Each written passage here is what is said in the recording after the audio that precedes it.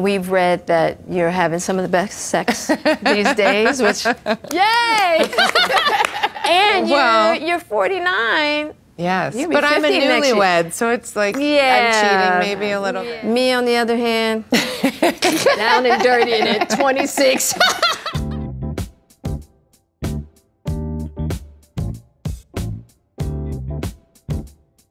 The thing that Will and I talk about a lot is the journey. I mean, we started in this at a very young age, mm-hmm. you know, 22 years old.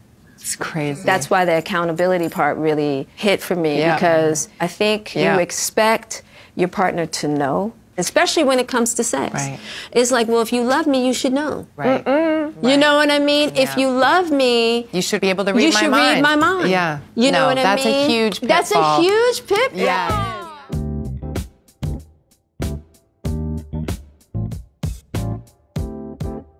Even though I'm helping facilitate all of these conversations, I'm still shy to talk about my sexual stuff, you know? It's so important for us to be accountable for our sexual selves. And if we're uncomfortable or we're not getting what we want, we have to muster the bravery to say, could I ask you this question? Or like, let's talk about this. Right.